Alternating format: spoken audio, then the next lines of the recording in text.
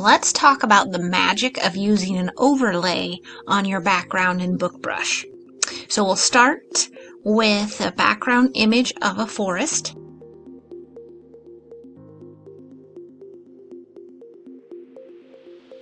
Now to do an overlay, you can click more options in the top gray stripe or just double click your background. And over on the left in the editing section, you'll see the option for overlays. These go on top of your background.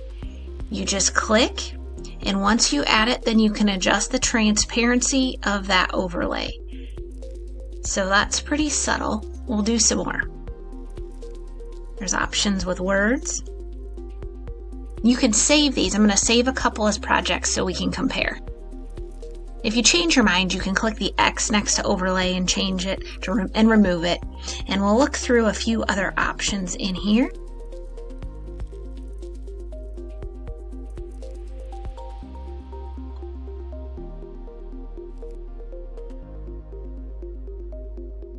And I'll also save one that doesn't have an overlay at all.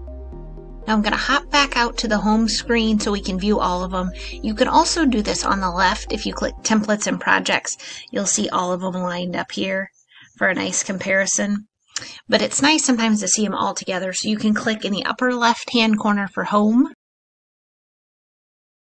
and then see your different projects. The first one is the one with nothing.